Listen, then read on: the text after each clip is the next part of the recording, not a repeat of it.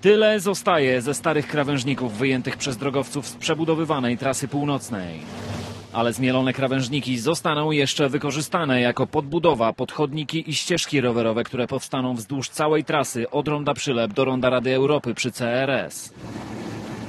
Właśnie rozpoczął się pierwszy etap budowy nowego ciągu dla pieszych i rowerzystów na odcinku od wyjazdu w stronę Przylepu do ronda Batorego. Piesi i rowerzyści mają tam od dziś oficjalny zakaz poruszania się. Trwają prace rozbiórkowe istniejącej nawierzchni i ruszą prace nad wykonaniem nowego ciągu pieszo-rowerowego.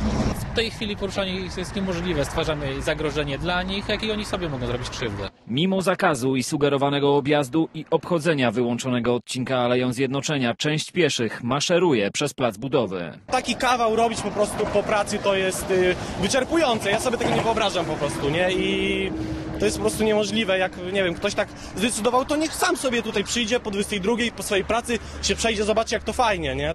Cały przebudowywany odcinek to więcej niebezpieczeństw. Kierowcy poruszają się tylko jednym pasem, a tymczasowe żółte linie w niektórych miejscach zaczynają już zanikać.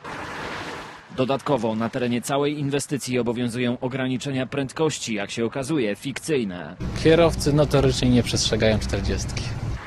Do 7 kwietnia powinna być gotowa północna jezdnia odcinka od ronda Przylep do ronda Batorego. Wtedy drogowcy zabiorą się za drugi pas. Równolegle prowadzone są prace przygotowawcze do budowy ronda na wysokości ulicy Rzeźniczaka.